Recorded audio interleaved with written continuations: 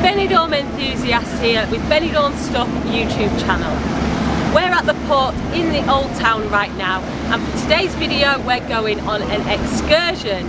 Yes, we're taking the boat trip to Calpe and you're coming with us. This trip is with Excursiones Marítimas, the same company that does trips to Benidorm Island and also Alicante and Tabarca Island.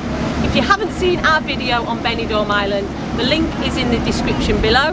Make sure you check that out after this video. We'll probably also do Alicante and Tabarca in a future video, but for today, our chosen destination is Calpe. The tickets for this trip are 25 euros for adults, 17 euros for children. You can book them right here at the port or at the Little Hut at the Rincon end of Levante Beach, or you can book online. It's available on Wednesdays and Fridays at the moment. The boat leaves the port here at 11.30 in the morning. It gets you to Calpe around 12.30 and returning the boat leaves Calpe at 4.30 and gets you back to Benidorm around 5.30.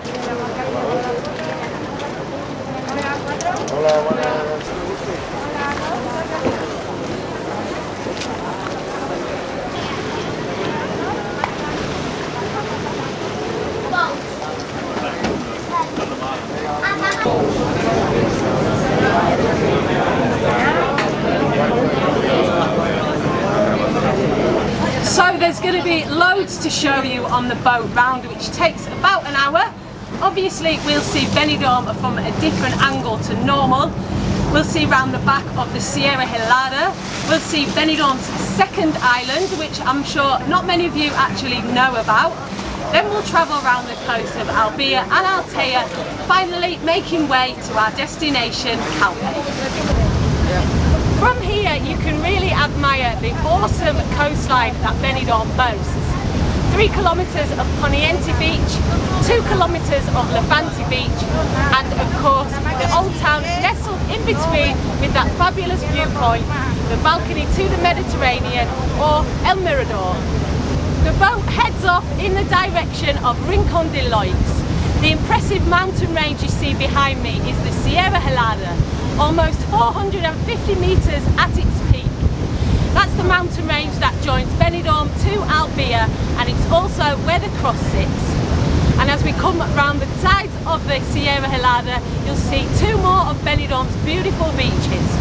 The first one, Cala Almadraba, is a small cosy cove It's the larger of the two and as we go around the corner we see Benidorm's smallest beach, Cala Tio Ximo. Both these beaches are open to nudists so don't be surprised if you see more than you bargained for on a visit.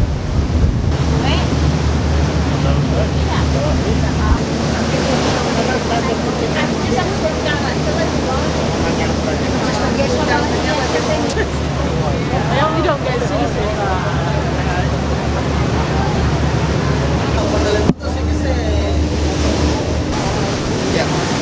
Around the back of the Sierra Helada now and Benidorm is out of sight but just look at these cliffs, pretty impressive eh? You can also see Benidorm's second island, Isla Mitjana. It's much smaller than the most famous Isla de Benidorm or Peacock Island as it's also called. Just 30 metres at its peak, this island. Many people don't even know it exists, do you? Let us know in the comments.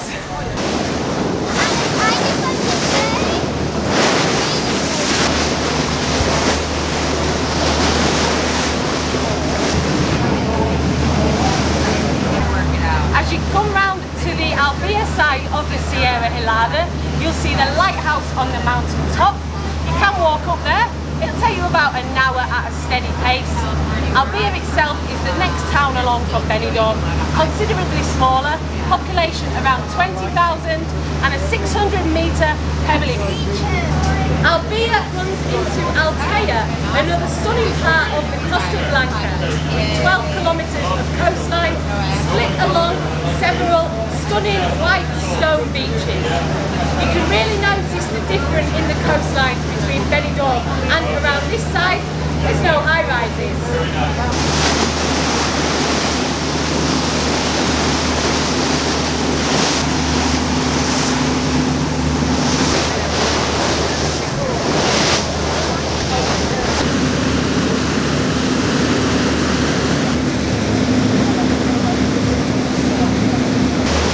viewpoint behind me now is the Morro de Toix. It kind of marks the end of Altea and the beginning of Calpe.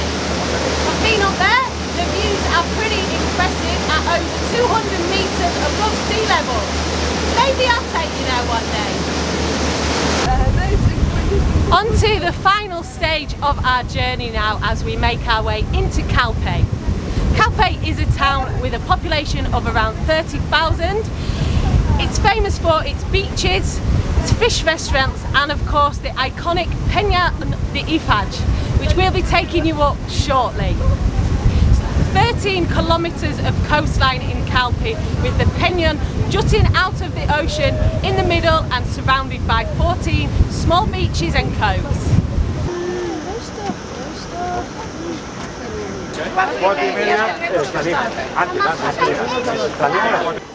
And we have arrived. There's loads to see and do in Calpe. We won't be able to cover it all in this video or we'll miss the boat back. So we're just going to concentrate on this little area that surrounds the port and El Peñon.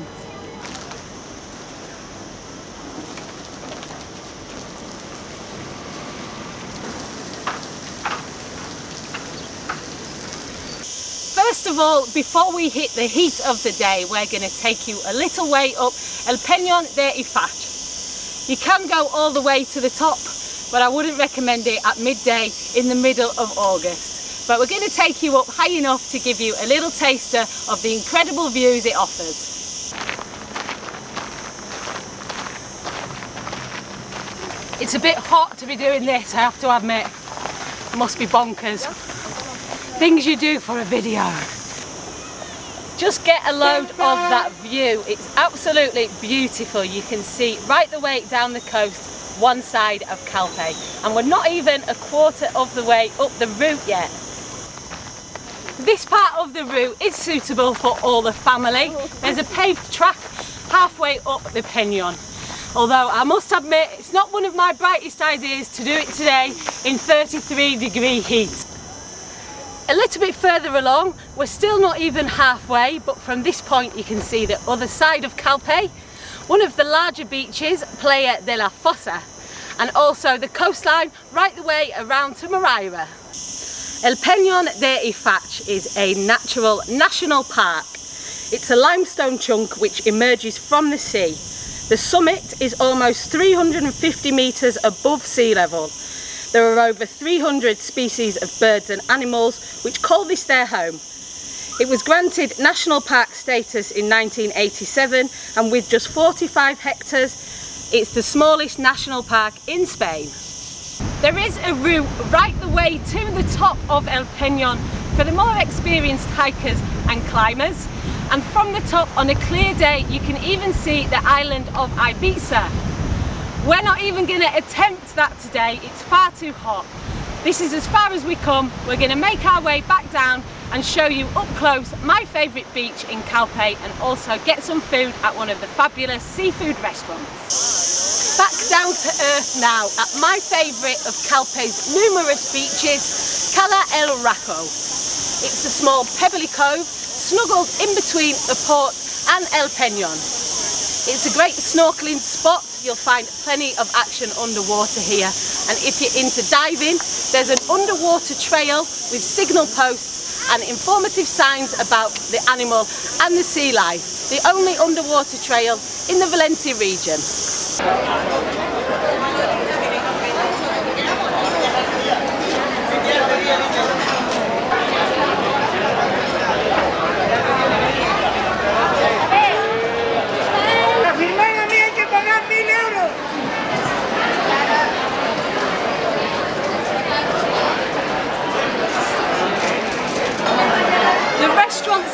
Sell some of the freshest fish you'll find on the Costa Blanca.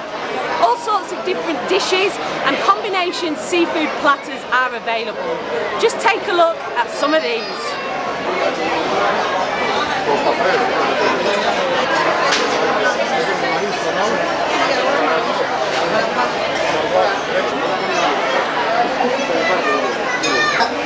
We managed to bag ourselves a table at Restaurante El Carro Uno. It does get very hectic round here here. It's extremely busy and extremely popular almost all year round, but don't let that put you off.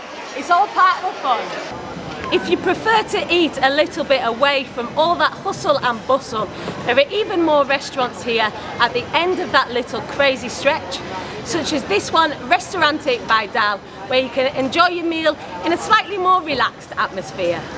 Coming up to half four now, so I'm to get myself back on the boat and enjoy a nice leisurely ride back home to Benidorm.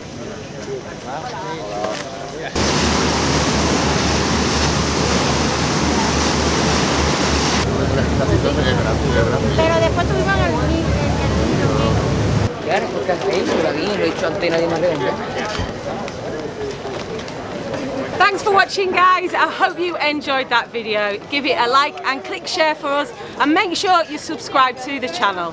Also check us out on Facebook, Twitter, Instagram and TikTok at the Benidorm Enthusiast. Stay positive and stay safe.